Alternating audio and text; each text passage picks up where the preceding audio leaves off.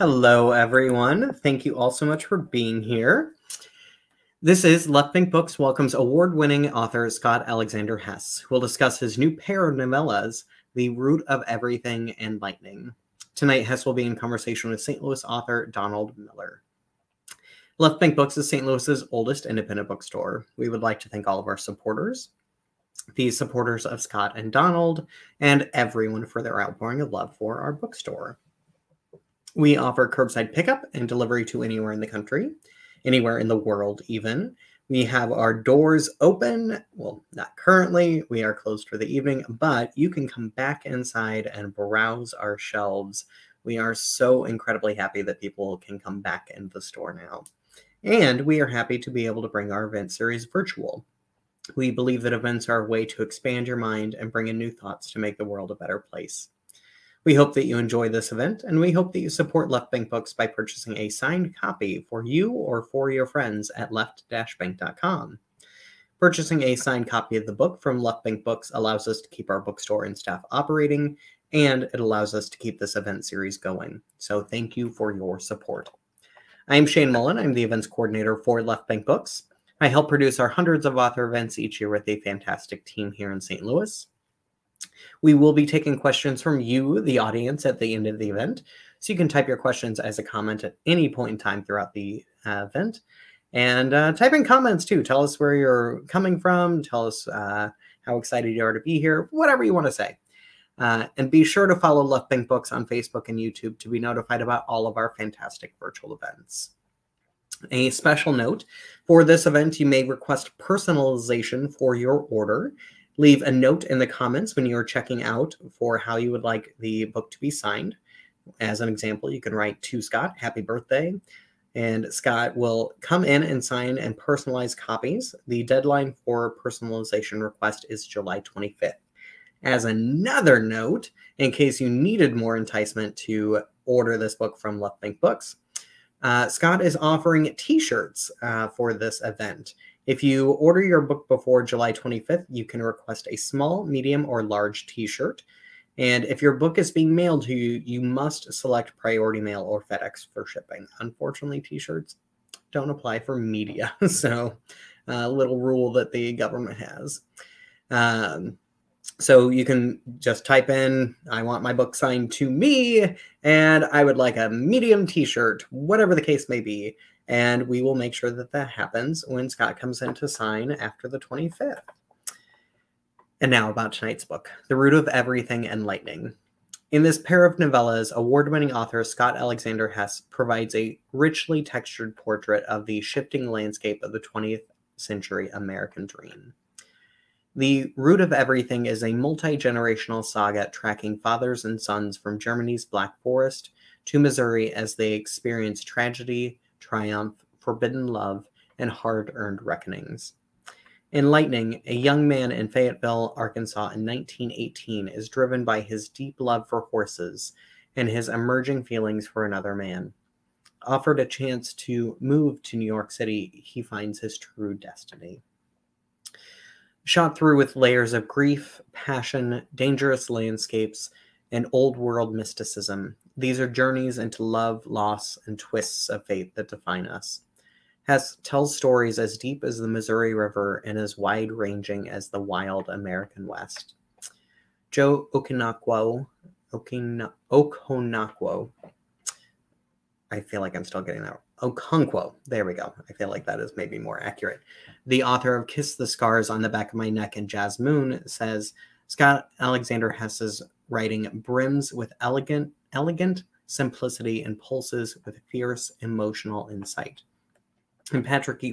e. Horrigan, the author of Pennsylvania Station, says In The Root of Everything in Lightning, Scott Alexander Hess uncovers deep affinities with between the wide openness of the American landscape and the wide eyed optimism of its people cowmen and farmers, fortune tellers and hard laborers, queer fellows and new women. Sinuously constructed and simmering with eroticism, these short, short novels nevertheless pack emotional punch. Historical fiction at its cutting edge best. And now about tonight's speakers. Scott Alexander Hess is the author of five novels, including Skyscraper, a Lambda Literary Award finalist, and The Butcher's Sons, which was named a Kirkus Review's Best Book of 2015. His writing has appeared in HuffPost, Genre Magazine, The Fix, uh, Thema Literary Review, and elsewhere. Hess co wrote Tom in America, an award winning short film starring Sally Kirkland and Burt Young. He teaches fiction writing at Gotham Writers Workshop and curates Hot Lit, an LGBTQ plus themed monthly newsletter. Originally from St. Louis, Missouri, Hess lives in New York City with his husband. And tonight, Scott will be in conversation with Donald C. Miller. Donald holds a master's degree in media literacy and has co authored a previous media literacy textbook with Art Silverblatt.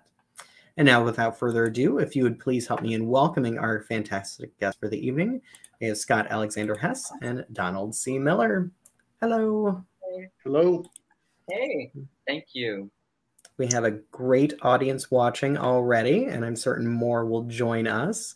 Uh, so I'm going to leave this to you to uh, have an incredible conversation. Can't wait to come back for the audience Q&A.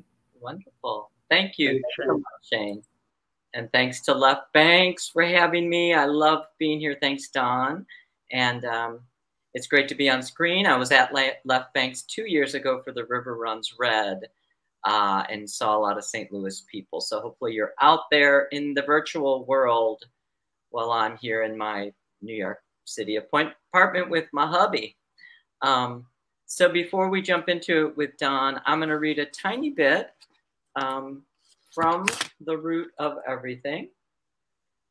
Um, just a little bit. Um, the second book is Lightning, but I'm going to um, give you a tiny bit from uh, Root of Everything, which is about three generations of fathers and sons and this is at the beginning when one of the men, uh, Richard, with his brother Rolf, they've come from Germany. And here we go. Richard, America, 1905. They rode the rails for a long spell, Richard and his younger brother Rolf, looking out with wild fascination through a railroad car door that slid open with a thunderous roar, revealing what they had only dreamed of America. They traveled in steerage by sea from Essen, Germany, then snuck onto a North Pacific Railroad car in New York, joining a few hobos who drank much and spoke little, which suited Richard and Rolf as they knew only a few words of English. It was a frigid November, so the railroad car door remained shut, and the men shook with cold, though a few times Richard cracked it open to get some air, taking in a clear eyed view of long, flat lands piercing a burnt blue horizon. And after dusk, shimmering things under a full moon, distant towns and night creatures, at times a million stars. At other times, if the train crawled to a stop due to some disruption blocking the track, the night appeared dangerous and lonesome to Richard, this new land, men speaking in a language he did not understand, strange cities and customs, left him momentarily wondering if they had made a grave error leaving their homeland. He pushed his fears aside, though, holding strong to a bright and bold hope. During their journey, Rolf spoke constantly of the marvelous thing they would see at the St. Louis World's Fair. Richard told him to hush. They needed to work hard and save money before they could think about the fair. Richard worried about his younger brother. They were heading on the train to a lumber camp in Missouri where there was good work cutting timber if you could stand the cold and hard conditions. They were lean and hungry and young and ready to work. The very air was lit with possibility. And that's from the start. And I'll welcome back Don. Hi, Don. Hey, thanks for that, Scott. Um, so the first issue or item that I wanted to discuss with you a little bit, and I think we got a little bit of a sneak peek at, at some of this. Um, the setting or the geography of both novellas are, are, really significant to the characters and the themes that you explore. Um, so, if you could, especially for folks who haven't read this yet, obviously, speak a little bit more to how the land in both stories um, affects these characters and vice versa. Right. Yeah, the land, absolutely. A, a great review just came out in uh, the Masters review yesterday, which talks a lot about the importance and role of the land, which I was grateful for because it was such a part of writing the book. Um, I've always loved setting. Uh, in the Butcher's Sons, it was a butcher shop in the 30s in New York. River Runs Red, of course, the river is a character. Uh, but this one, um, the land became even more than a character. It, it like really shapes their destinies. Uh, they come from Germany, and it, I've got lumber, uh, the earth, like um, their connection to the earth, and like what the earth gives them, because the trees literally grow up. They rely on that for a living, and then it also causes a tragedy um, that, that nature in the earth. Um, and then in Lightning, also, uh, they're on a farm. I actually based it on my sister's farm, Kathy, uh, in Fayetteville. Uh, and their need for what the land gives them again is um, it's a little more nurturing there. Like, uh, you know, they have horses, uh, they have crops, um, but uh, also setting is, is, early in my writing. I, I actually read William Gass, who lived in Missouri. Um, he died in Mobile, Missouri, not long ago. He's a very um, uh, revered writer. Um, he's written a lot of books, and I read uh, The Pedersen Kid, which is so rich in setting. It's set in a blizzard, and I was so impressed with how the weather, the land, the landscape was so integral to the writing and important to the story. I also love Cormac McCarthy. I love language. Um, but this book, it it you know, it really became like the heart of the story, um, not just what the characters are doing, but the impact of nature, earth, trees, land. Um, it, you know, it, it all became so intertwined, which is why I called it the root of everything, and also with their emotional life. Like, um, it's weird because I never had the earth, the land, like so it was so emotional in the writing of it um, um, because of the landscapes and the earth. It was it, it, it like it, it's kind of hard to explain, but it was it was like part of the heart of the book. When usually it's like over here and the characters are really important, and they still were, but their connection to earth and land was was critical. Was like like I said, it became a character. Yeah, agreed. And just a side note for folks who might be listening who are writers, um, one thing that I was very impressed uh, by and actually a little envious of because it's not a strength of mine in writing is the descriptive power of the setting itself. Um, some of us are maybe a little bit stronger at uh, dialogue and having an ear for that, and others have really great descriptive power. So, just as a side note, I've always struggled when I do any writing of uh, describing a setting. It really doesn't come easily to me. So I was uh, personally, I was very impressed with the uh, description of the land itself. Right. Yeah, and I I love um I actually love description. I love setting. Mm-hmm. Um, I love writers that go in that direction. Yeah. Sometimes where I have to push it back is plot. Um, in my writing group, I'm still the ponies. If you're out there, my writing group, they'll be, I love it, love it, lyrical, poetic, wonderful writing, setting, great. But let's get back to plot. Like remember the story. Um, right. So the writer have to hone back in. Sure. Yeah. All right. Um, so another issue that I found pretty interesting in both stories, but especially the first one, The Root of Everything, mm-hmm. um, both of these novellas focus primarily on male characters. There are some female characters in there, but they focus primarily on male characters. However, um, the female characters also have their own lives and their own journeys. Mm-hmm. And I wanted you to talk a little bit specifically about the mothers in both stories and and what their journeys are, especially relative to the time frame in which these stories take place. Right, right. Yeah, the when you brought that up as a question, I I realized how important the mothers were. Um, sometimes in my writing, you know, I don't know, I go stream of consciousness. I don't, I, am you know, I discover, but the men are very strong, but um, in both of them, uh, the mother in, um, I also had a very good relationship with Strong. My mother was a hoot um, and a writer uh, in her own way.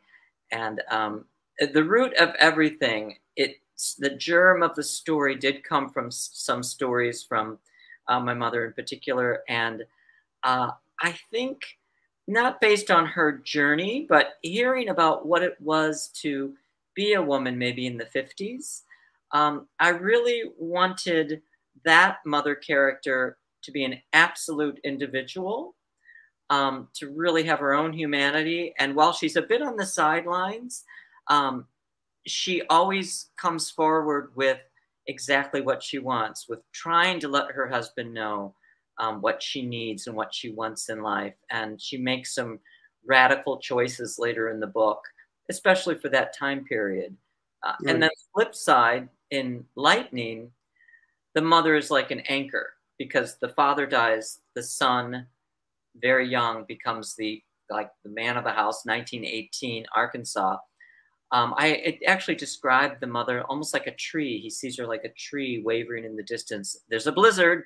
I kind of stole that from from William Gass, but um, and, and she becomes very solid. But that character almost feels an obligation to um, make sure what she's created in her home stays solid for her. So both mothers are strong, but in almost opposite ways in how they react with their family, their sons, and like impact the narrative. Right. Yeah. And if we have time later, I actually do have a passage from Root of Everything regarding the mom and the mm-hmm. son that I wanted to read and just kind of comment on it because I think I told you through an email I wasn't expecting it. Right. And it, it took me by surprise in a very um, interesting way. So, right. Right. All right. Yeah. Um, this is something we touched on a little bit, but you know it's always a always a hot topic as they say given where we're at right now especially in our uh, politi- political climate um, how would you say the evolution of equality issues for the LGBTQ community has affected the way that you have written the experience of gay characters, primarily gay men? Um, well, good, bad, I, or indifferent. Yeah, I mean, um, I, as growing up as a gay man, I will always be drawn to um, have a, a, gay character, at least one, in my story because that's part of my own landscape.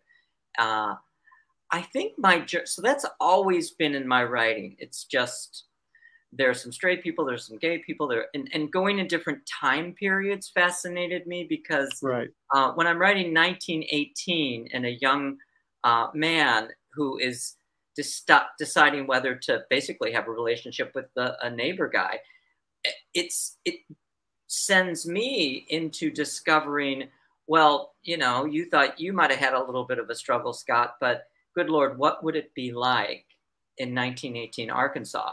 I mean, right. not like you come out. So um, I always like exploring those elements, but I did find it a little baffling in the publishing world. Um, and sometimes with even magazines and so forth, who would say, oh, this is a racy gay book. And I'm like, well, not really. I mean, it's has straight and gay characters, and there are some love-making scenes, but it, you know, I mean, my my, except for my very early work, which is a bit racy, um, my my uh, sensual scenes are usually very subtle and poetic. So I realized that, oh gosh, people still sometimes put, um, oh, it has a, a, a lovemaking scene and it's gay, woo, put a warning on the front. Well, if it was, you know, the 50s in the man and the woman, I guess it's like, oh, that's like Steinbeck. So that's the part that I bristled against at times and would be like, where in the world am I? You know, we, we get stuck in New York in our little world and we think, woo, everybody's out loud and proud. And, you know, it's a big world out there. So um, I do try to uh, I don't know keep pushing that this is um, this is fiction these are stories this is humanity these are people. Um, some of them are gay some of them are straight some of them are whatever they are you know? Um, so and I, I'll keep on pushing.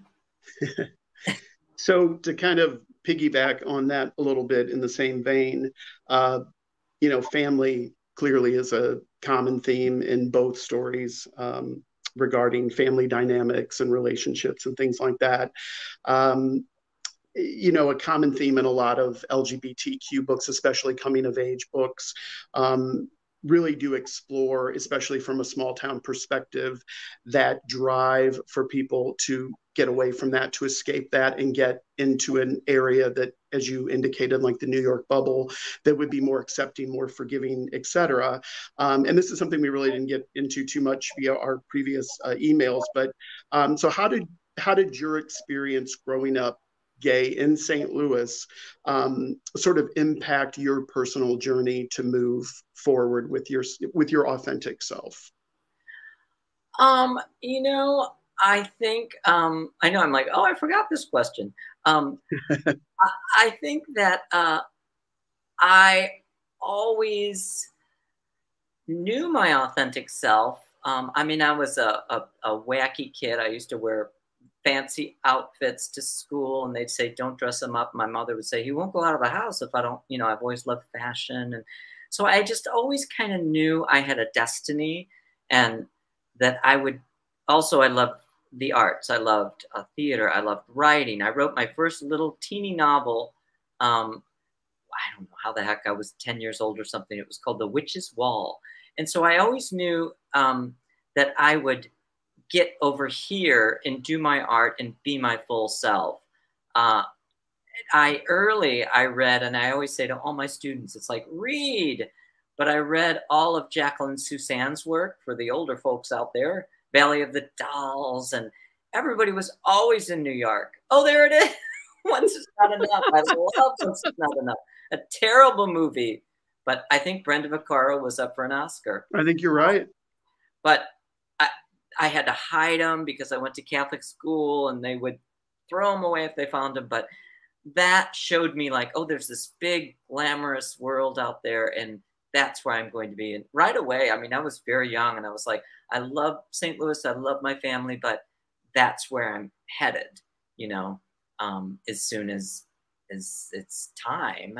Yeah. Um, and then I knew that I don't know if until I got to New York that I knew like, oh, I'd have the freedom to, uh, you know, um, date men and run around and do all that. But I just kind of knew I'd have freedom. And then when I got here, I was like, oh my God, look at these wild bars. And I mean, in St. Louis, I went to Faces. Did they?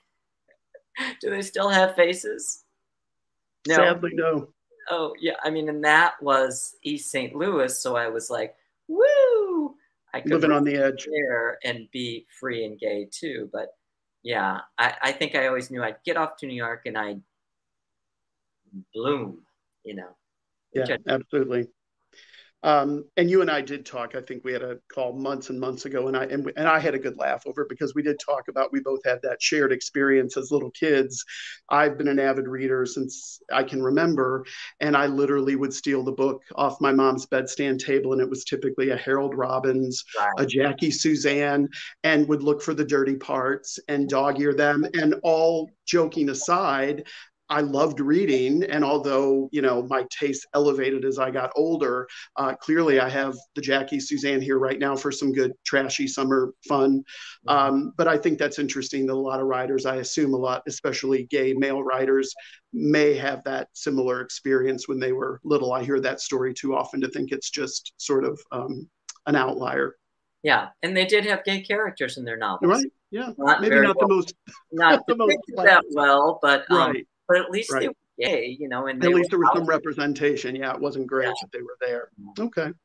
Um, and then you, I think you alluded to this a few minutes ago when you referred to the other writer who you admire. I think you said you admired his skill, especially with regard to the description of the land and the, you know, events, the the weather events and things like that. Um, so when you're sitting down to write a no well both novellas i guess in this case. Um, clearly i don't think too many writers just sit down and that just organically comes to them that level of detail when they're writing that out.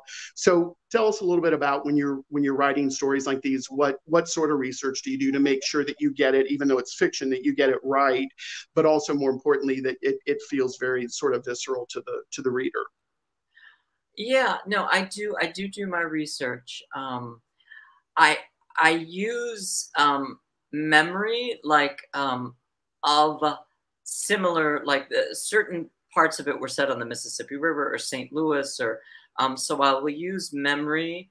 Um, but when the beginning is in the Black Forest, so I had to watch um, videos, films, read, and I always look for really authentic language, like what are the actual trees and what is the grass like and what is, uh, and it's kind of like being an actor. You do all this research and then you let it sit there and have, I write stream of conscious, I kind of let myself go. So I let it all be there, but I have to kind of know what it is. And and then I'm lucky enough, my sister Kathy has a, a beautiful farm in Fayetteville, which I visited many times. Um, so I had all those photos and memories and so forth. And that's why I set it there because I wanted it on a farm. And I thought, well, I'll set it there. And I looked up 1918 Fayetteville, what's going on there in Arkansas, because um, I hadn't spent time on a farm in Missouri. So um, I could use that farm because I specifically wanted a farm where there could be a young man and a horse and there could be a blizzard. And um, I've been in Fayetteville where there's a terrible ice storm. Like the trees are so heavy with ice, they almost fall. Um, and I used those memories. And also growing up in St. Louis, we would have some terrible blizzards too. So I love extreme weather in my writing. I love a heat wave or a blizzard. So come I, back to St. Louis. We have heat waves all the time. I, I know. Maybe that's why I love uh, heat waves and blizzards because I grew right. with them.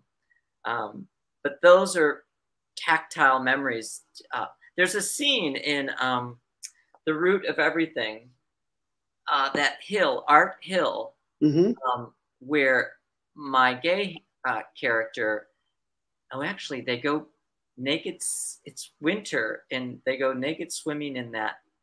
Uh, what is it? A reservoir or a pond? I literally have a note uh, when I took notes as I was reading that. I literally have a note that says St. Louis, 1966, swimming naked in, in uh, at the Art Museum, Art Hill. Yeah. Yes. Yeah. They. Um, it's kind of a dare, and they're both very yep. athletic, so it's like they're able to not get hypothermia and do that. But right. that I shaped that into a scene. But what I had done um, years ago with my siblings was we were out in a five below blizzard and we're um, sledding down that hill, and I actually crashed my head.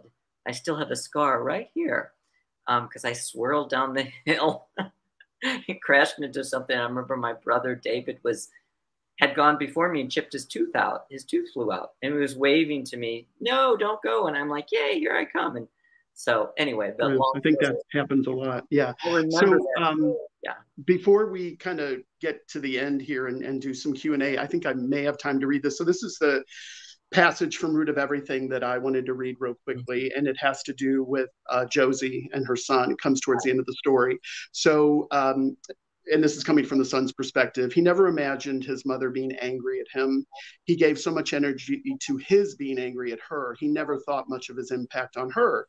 He watched her watching his son, and he thought of Gran Granny Emma watching him, speaking to him, and he knew there were terrible regrets, misty things hovering just above the surface of his life, things he knew, thought of sometimes just as he was falling asleep, dreamed of and forgot, and he knew too it was what she had told him long ago that really haunted him. And Bo, Granny Emma had said it was just the root of things, the flaws of being human. Wasn't that it? It all goes by so quickly, Josie said. We do our best. So, just real quickly, I think I literally sent you an email when I read that. I wasn't expecting it because, again, the focus is primarily on the male characters. And what I took away from it, um, especially being a parent now, is in, in media presentations, we almost always see it's, it's sort of a cliche or a trope of the the the child either grown or as a child sort of lashing out at the parents you ruined my life you sucked you did everything wrong. And and not always but typically what you see from the parent is either this this outward guilt or this inward sort of um, guilt or just feeling really bad about things. And what i what i loved about that uh, piece in that passage is that, as you said, this woman during the time in which she existed didn't have the liberties and freedoms that, that modern women have. And yet she lived her own life, whether that was, um, and maybe there were some regrets there, but I just love that that was in there because um, it just really resonated with me that you had a parent and especially a female at that time saying, "Look, you know, my life basically my life wasn't a a, um, a bowl of cherries either. So let's kind of be real about this." I just I appreciated that. Yeah, thank you. Yeah, I I really wanted that character of Josie to be real and human and flawed, and also non-apologetic. Um, she right. leaves her husband. She goes to live in Paris. She she makes mistakes, um, and then at the end with her son there, um, uh, and they're watching. He, there people out there. He he gets married, and um, they have a little kid and everything, and and she kind of shrugs. Also, I think she's wearing like a Chanel skirt or something on the on the lawn. And he earlier in that scene looks at her like, Lord, she dresses up even to like sit on the lawn. She's very uncomfortable. Like, what am I right. doing? But she's very much uh, no regrets, you know, kind of like, I, I certainly did my best. And, yeah. um, you know, what are you going to do? So, right yeah no I, I i wasn't expecting it and i and i appreciated it.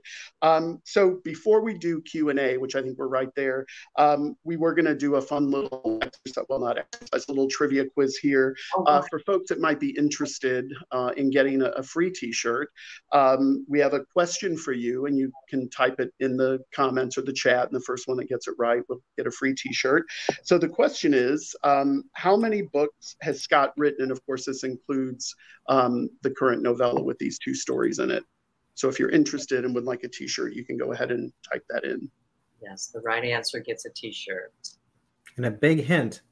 I kind of gave the answer in I was going to say, I, yeah. yeah. you did really, quite, quite frankly. All right, we don't have. Well, I guess I for, I always forget there's a little bit of a time uh, delay between the.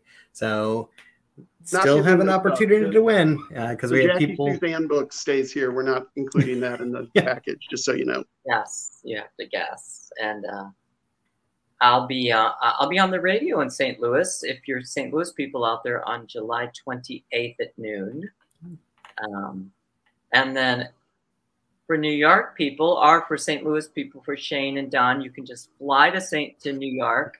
Uh, August 12th, we're having a big splashy launch party um, with uh, all sorts of uh, writers. Uh, writers. We have uh, uh, Jacqueline Hyde as a drag queen hosting it, maybe an opera singer, and um, a clown. So it's a wide mix. I do. I like to do more of a variety show when I do events like that, like live events, and read and eat and sell things and sell books, but also bring in um, some of the creative community in um, in New York City. Great. Uh, we are getting there's some good guesses, but no one has gotten the answer yet. So. Oh gosh. Um, and I want to remind everyone that because we do have a couple of questions in the uh, comments as well. So if you have already ordered a copy from Left Bank Books and want to have it personalized, yeah, just give us a call tomorrow. Um, I, all the books are on by my desk. So if they're having trouble finding the books, just be like, uh, Shane said, all I need to do was call and just update my order and I'll take care of it from there. Uh, so we have uh, some oh and a reminder to everyone who may have missed my introduction because we have had several people join since then. Um, you can order a signed and personalized copy. Scott will be coming in in uh, what on the 26th mm-hmm. uh, to sign and personalize and then we will be getting books out in the mail. Uh, books will be available for pickup. If you want to you can request a small medium or large t-shirt and uh, a special note that if you are having your books mailed to you, uh, to request priority mail or UPS for the mailing uh, method if you would like to have a shirt. Um, and do we have the correct answer yet? Not yet. Uh, so still have that. And uh, let's get to we have a couple of comments. Um, Evan says, Hi, Scott. I made it. So excited. Uh, Lewis Clan fan says, I love the title and look forward to the relationship the characters to nature. And Uh, I think this might be a question. Uh, so Amy is asking, "What is lightning about?" I can't wait. Can't wait to read Root of Everything. Uh, hmm. so maybe just uh, a quick recap of uh, sure. Lightning. Uh, yeah, Lightning uh, is 1918. It's set on a farm in Arkansas, and it's a young man. His name is Bud, which I named after my uncle Bud, and um, uh, he they get his father wins a um, a horse in a, a, poker game, and then um, not to give it away, it happens fairly early. His father dies in a blizzard, goes out and gets stuck, and talk about bad weather, and gets stuck in this dies in a blizzard. So he kind of becomes the man of the family, but he also starts to ride the horse for emotional release, and um, becomes a, really good with horses uh, and so forth and um, ultimately he starts to have some um, emotional feelings about another young man he knows and his rich aunt um, realizes she's in new york and she realizes he um, is really good with horses and may want to bring him to new york because she raises horses. So he faces a, a, a big decision. So that's your wrap up. Of lightning and lots of description and setting too uh, in that one. Uh, we did finally get a winner. Uh, the correct guess is six. So right. Kathleen may be related to you, uh, Kathleen Hess. Oh, uh, good. Yes, Kathleen. So I you better get it right. yeah. yeah. Um, uh, Karen is asking, what about those great NY frames, New York frames? It, my glasses? I think that maybe that's what it's referencing to. I wasn't quite certain, but I was also guessing your glasses. These are Tom Ford.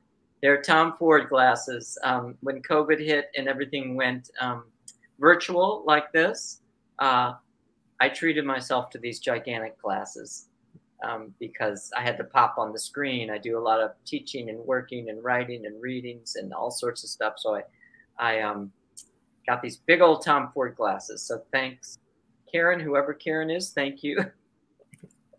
and um, run out to Tom Ford store and buy yourself a pair. Uh, so I have a question for you, Scott. Yes. Um, I'm a big fan of short novels, novellas. I love short stories. I wish I read more short stories, honestly. But I'm wondering for you personally, what your like when you make that decision of how what the length something is going to be so do you know kind of going in like this has enough meat to be a novella or do you think like maybe this is just going to be a short story like when do you decide that um yeah people ask that a lot and students and other writers uh uh, I'm an organic writer. I'm an instinctual writer. So I do know when it's a short story. Uh, I think the form of the short story is wonderful. Um, it's I'm not uh, that's not my forte. I've done a few short stories, but I I know when idea an idea is a short story, but most of my work is bigger, uh, and but I don't know the the whether it's going to broaden out to novel or stay in novella uh, until I'm in the middle of it. Um, and agents, publishers, people really prefer novels. Um, so, the, and it, actually, I mean, someone like I love Ian McEwan. If you've read um, Comfort of Strangers, uh, they call it a novel because he's famous, but it's a novella. Um, so it's easier to sell novels. But um, some things just like the root of everything you would think that would be a novel because it's three generations and all this and it just shaped itself in a way that i just kind of knew this is the rhythm of it and this is where it closes. Um, and i also tried for the first time if you've read my other books this one is nonlinear. It's almost it's put together almost like a puzzle and it goes from like 1920 to 1980 and these three different people and I was just really, again, organically drawn to tell the story that way. um, and and then it it shaped. And I did have I have trusted readers before I published, and I said, you know, this is kind of short, and let me know what you think. And um, they were fine with it. They said, yeah, it, it it's it has a lot, but the the length and shape you chose is it works. So. Uh, yeah, I always wonder like how these like 800, 900, like 1200 page novels like happen. I'm like, what type of mind is like, oh yeah, I've got this great idea. It's going to be 1200 pages. like, right, right, right. There's nothing like a good series. Yeah. I'm looking at you, George R. R. Martin, if you're out there. Like, right and I and I think if you're as uh, you know prolific as a Stephen King, you get by with whether it's twelve hundred pages or fifteen thousand. They know it sells, so that the editor or whoever's looking at that is like, yeah, if it were anybody else, we'd probably chop this, but we're just going to kind of overlook it. That's sort of my take on some of that. Right. Yeah. Sometimes uh, it Sometimes is it needs chopping. Clearly evident that like a hundred of these pages could have easily gone by the wayside. Right. Yeah. But I mean, sometimes, like, because I, I, do read some of the popular uh, authors as well. So, like, they clearly know what they're doing anyway, even if there's some extra stuff. So I won't like bad talk any. uh I definitely won't bad talk Stephen King. Oh, gotcha. I love Stephen King. Right. Yeah. yeah. It's impressive. I mean, to write that like Game of Thrones or that multi-series with so many plot lines and so many characters. And uh, my work always tends to be i mean like a 300 page novel is is about as long as i go. Um, my stories tend to be that length and shape or shorter. I don't see worlds in that. I guess i see more moments in time or periods of time. Uh, but i'm impressed with people that uh, a lot of those that get turned into uh, you know, cable shows and so forth um, that go on and on and on and on and have multiple stories and multiple plots and um, and it's good for the writer because then you know a, an agent loves a good three three book deal you know like a have three books ready um, which can be very good um, yeah. Uh, so Kathleen is asking uh, along along the same lines. So an author needs to publish novels in order to get novellas or short stories published, and sadly, especially in book form, um, because there are a lot of outlets for short stories and novellas that aren't necessarily book form. because um, you have a lot of magazines that publish short stories. I mean, I don't have to like the New Yorker and whatnot. Um, but you can actually be like a lot of authors publish incredible short stories in collections that then or in uh, magazines that then go on to be in collections like the best American short stories that Granta, um, those sorts of magazine book compilations that really are fantastic for short story readers. Right. Yeah, and a good a good short story collection is a great way to start too for the writers out there watching. Um, a lot of people will start with a great collection of short stories and then um, move to a novel novella. Um, this book actually, uh, there was a press. Um, ah, there it is. There was a press in uh, Virginia that really liked the root of everything and wanted to pair it she was like, well, let's do four or five of your short stories with it. And I'm like, I don't have five short stories. Um, so I ended up, uh, this, strangely enough, um, Lightning was a longer novel length uh, piece I'd written but not published. And I decided to reshape it because I had someone interested. They said, well, if you could give me two novellas, we could do a volume, but I'm not going to just do one you've got to either give me a second novella or short stories. Um, so I shaped that from, it was called The Jockey. And um, I shaped that from a novel into um, the novella. And, you know, actually relied more heavily on his um, LGBTQ romance and that coming of age portion. Um, so that's how. Yeah, and the and the one uh, passage in Lightning, and you alluded to it earlier, between him him and uh, Jerky. Um, I, I, mean, I I think most you you kind of see it coming in in a good way, but I um, it, it was it was very well done. Like it was very um, erotic without being um, sort of like bodice ripping over the top. Uh, it was just as, as brief as it was in the in the story. Um, it was it was um, it was very it was very sensual. I thought it was very uh, very well done. Right. Thank you. Yeah. Uh, so Valerie's asking, how does being magazine published differ from book published? And how do the journeys differ? And Scott, since you do edit as well, mm-hmm. um, I'm wondering, like, also including like the online experience. Right.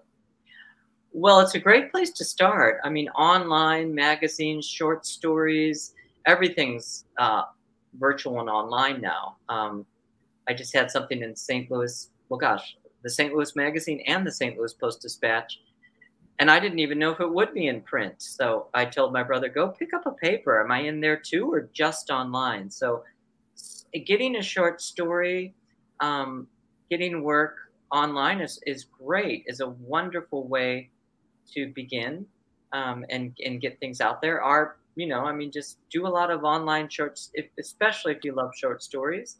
Um, or there are also like um, a lot of the literary journals are also now online, and they will. Um, some of them do take longer stories, like 50, 70 pages, um, maybe even a novella.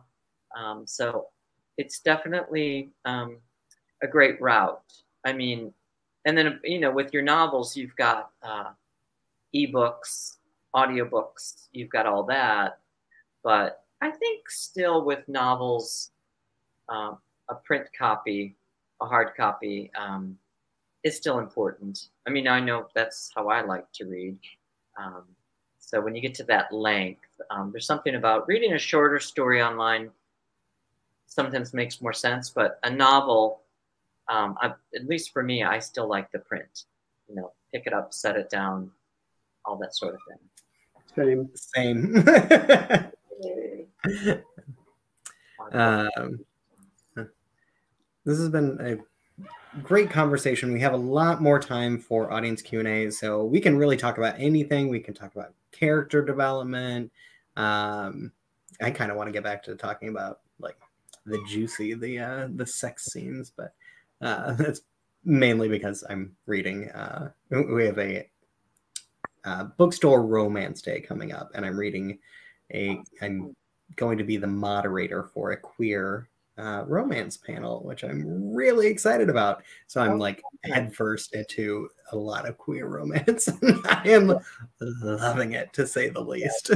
it's a great category too, uh, queer romance, and um, I'm in the OutWrite. Um, my events page too for people out there, scottalexanderhess.com. The events page has all my upcoming events and OutWrite books in um, DC in Washington.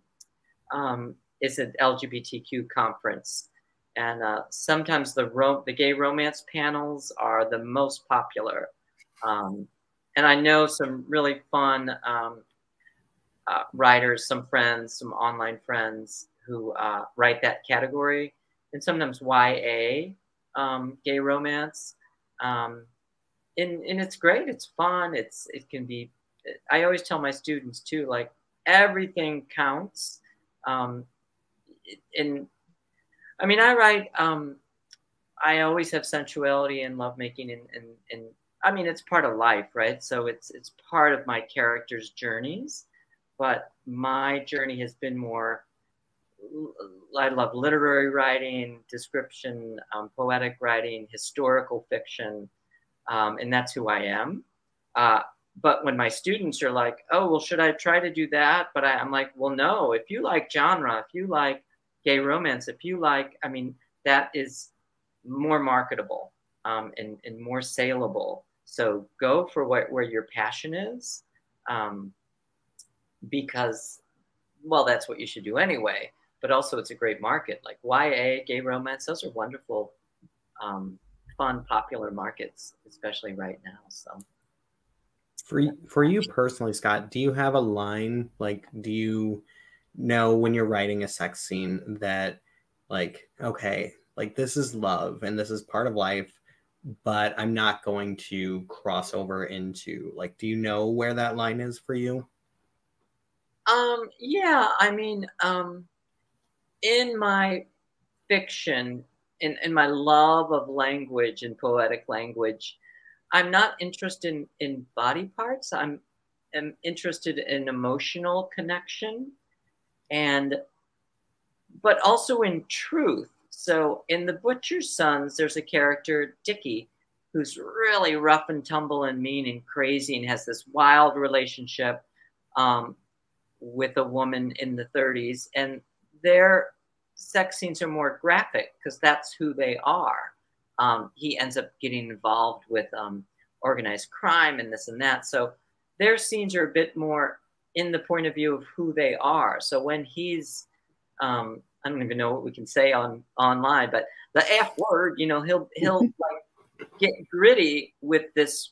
She's like a jazz singer, I think, with this woman because that's who he is. So I'm more about like the truth of it, but not about it just has to be truthful to the scene and the character. I'm not really interested in, I guess, titillation or creating something that doesn't make sense to the truth of what the characters are doing. Um, but I've written some pretty, also The River Runs Red. I, I have a man who's a coke addict. Um, it's set in 1890, but he does some very devious things. Um, he's the villain. Um, so there are some somewhat graphic scenes. Um, and I say somewhat, but then I'll go to another town. like, and I'll say, oh, it's just a little bit. And they're like, oh my God, it's obscene. And I'm like, oh my goodness, do you think so? Um, but yeah, so I will go there when, particularly that man um, in that book, uh, I would cringe, cringe sometimes at what he would do, but that was who he was as this in, intense villain. So, you know, I think the story tells you what to do. Yeah. And, like your instinct as an author, like I think that the characters let you know, like, okay, this is this is what we're doing. This is where we're going. But yeah. Uh, Valerie's asking, why do you pick the time periods you've used and what do you use for historical research? Um, I I choose the time periods. There's usually something about them that intrigue me. Um, the Butcher's Sons, I wanted a story about three brothers and I wanted them in close quarters. So I picked a butcher shop and I, I did do my research. I go online. Um, I live in New York, so I went to Hell's Kitchen, where the old butcher shops. I went down to the meat market. I interviewed butchers. Um, one guy who likes his family had had a butcher shop for a hundred years, so he could fill me in. And what I found was like not 1930, because of how the meat. I did all this research on how they got meat from New Jersey up to Hell's Kitchen in 1930 and I it and the lack of refrigeration, the there were like so many conflicts and and then I thought, ooh, and let's make it a heat wave. So that is how I end up deciding as I shape the story. Like I love conflict. Um, I love problems and flaws. And so in that that book, I said, oh good. Let's let's make it 1930 it's really hard to run a butcher shop in a heat wave. And then i made one of the characters gay because i was like oh and what would it be like to come out as a young gay man in hell's kitchen which was pretty rough back then um, in 1930 so yeah. And research has become so much easier because of everything you can learn online um, i'm writing a my newest book is set in Delhi, India, because my husband and I went there twice, um, which is actually harder to research it's such a fascinating place and I made a lot of notes, I took a lot of pictures, but to immerse myself in that and then write about it is that's been harder because it's so unique. And the research on particular streets in Delhi, India is not as robust as, you know, Hell's Kitchen. So I guess I'll have to go back. Well, I want to thank you both. Uh, I guess if we don't have any more questions, maybe one will trickle in as I remind everyone that they can order a signed and personalized copy from Left Bank Books.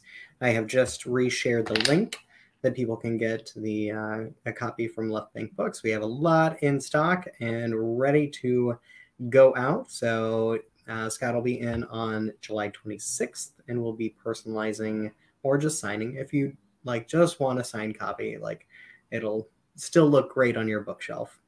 And don't forget to request a uh, t-shirt as well. So small, medium, or large t-shirts that can be mailed or ready for pickup uh, either way. And uh, I will be letting Scott know soon uh, so that he has them with him when, when he uh, travels to St. Louis.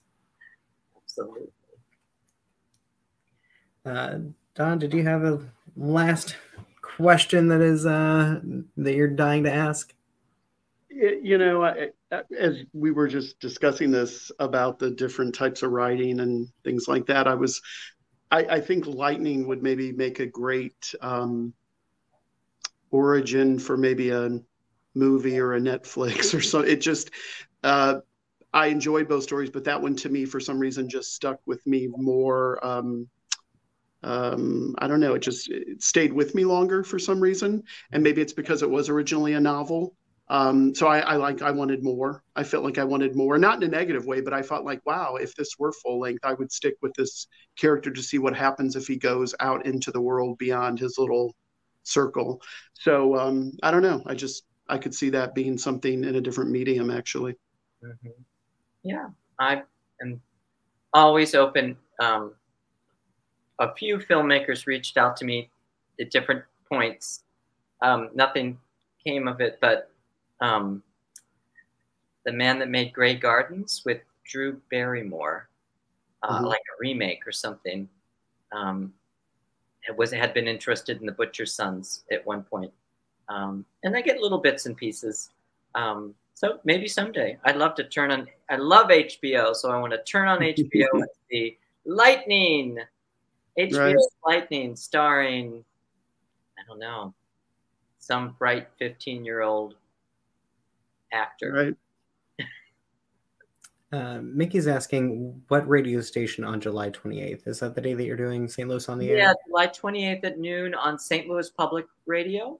Mm-hmm. Um, 90.7? Yes. Yep. Yeah. Mm-hmm. So yeah. tune in. It's yeah. just uh, pre preset number four on my car. yes, same thing. that's going to be fun. So, um, and that's all on my website, scottalexanderhess.com um, the events page. It's got all the events, all the readings, including the radio.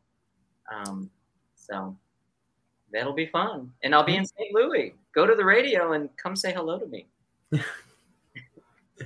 All right. Well, I want to thank everyone for watching tonight. Be sure to check out our event calendar on left-bank.com. Uh, you can uh, click on the link to order the book. And then when you're done doing that, go to the event calendar and check out some of the incredible events, including the one that I'm really excited about the uh, uh, Bookstore Romance Day. So you can see me asking a whole bunch of questions about uh, to all sorts of uh, queer influenced authors. And I think most of them are, I think they're all queer. I'm not 100% certain, but uh, well, I'll just say they are. they're writing fantastic queer romances. Um, but yeah, thank you for being here, Scott and Don. Thank you for this incredible conversation. And we hope to see everyone again really soon. Thank you. I enjoyed it. Thanks, Scott. Thanks, Shane. Thanks so much.